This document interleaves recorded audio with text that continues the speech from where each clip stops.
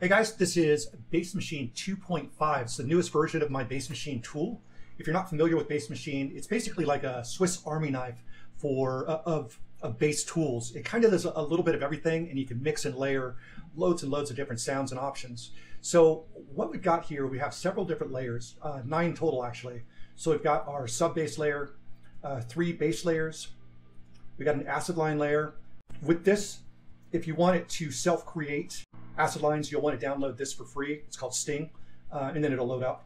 Uh, everything else runs perfectly if you have Ableton Suite. This runs in Ableton 11, so you'll need Ableton 11 for this version of Bass Machine. Next, we have click layers, and these are just uh, extra transients that will kind of help a sound cut through. And then I have two kind of real filthy synthesizers for more of your, your dirty sounds, dubstep sounds, and, and things like that. So let's go ahead and get started. I'll just kind of give you a walkthrough of some of the sounds that are included and how this works. So by default, none of these layers are on, okay? So what you would do is you would choose your layer, and then when you come over to select, then you can choose the sound on that layer. So when it's on zero, it's silent. And then as you move this, you get different sounds.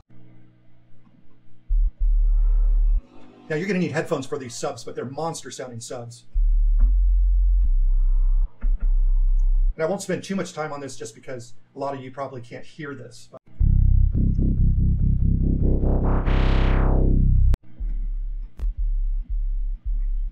a lot of these subs have a, a, harder time kind of cutting through just because they don't have that high, higher frequency. So that's where you would add something like a click. So the click is just, I have loads of different sounds that you can add. So let's say that right there. If I add that to the sub sound, it'll give it more impact. And then of course I can mix the volume here on the level that I want. And pardon if you hear like little crackles, it has to do with, with the driver app to use to record this video. But rest assured there's no crackles in this tool. So yeah, loads of different uh, sub sounds here. Let's just get into these bass sounds. So I'm gonna turn the sub back off. Now you could keep this on and layer the sounds together, but I just wanna kind of show you some of the separate sounds available to you.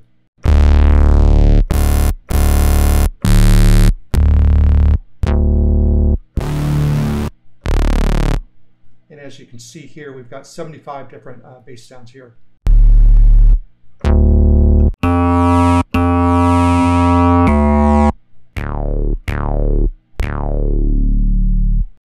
Course you can adjust the sustain and decay. And once again, you can layer the sounds together. So if you like that sound, but you want to try layering it with a second bass sound, you could come over here, which is basically a clone of this, uh, but you could choose through the same presets. So we've got, and then I can,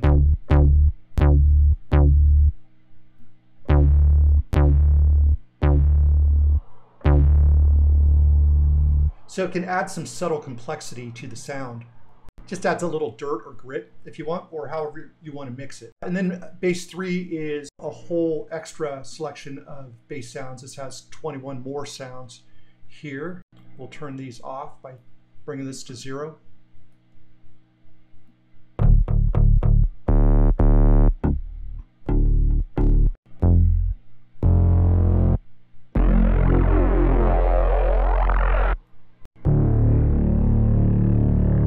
Very cool stuff. Spent a lot of time uh, sampling all these sounds to give you uh, the best that I could come up with. The next layer is the acid line sound, and you can play it in by keyboard or program uh, MIDI part in with this. So if I just uh, play it with the keyboard,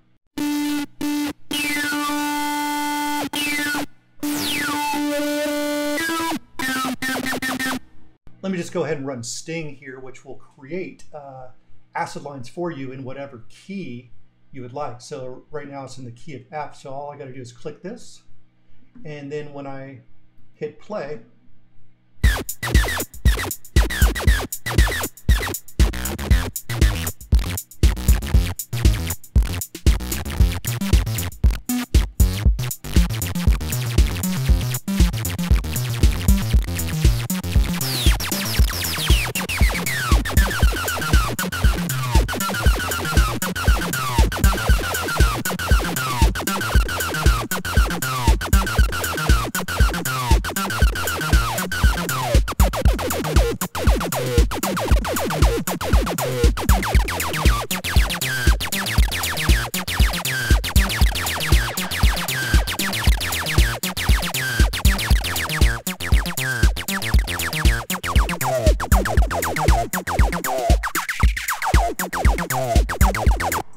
so forth. So yeah, this will generate different acid lines for you. And then you can use the de density and the length and type to get a lot of different options here. So it's a really great tool to add to this, but you can use it with this or without, totally up to you.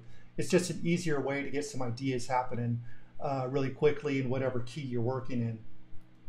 And then once again, we've got uh, our clicks here.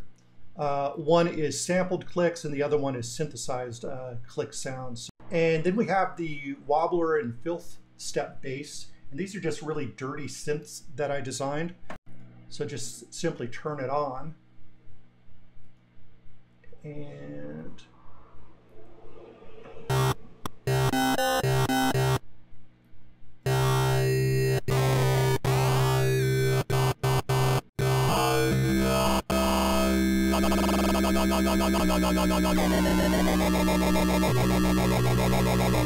And then we've got an arpeggiator here.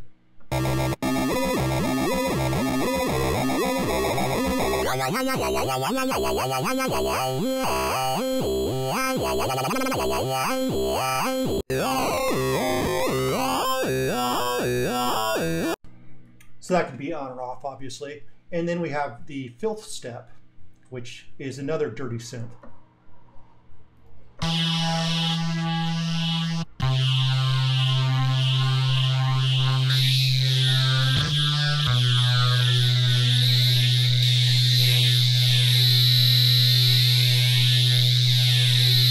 Fine mod gives it a little bit more like a, a wobble to it.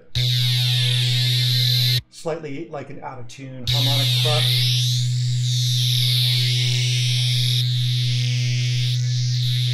and bit crush.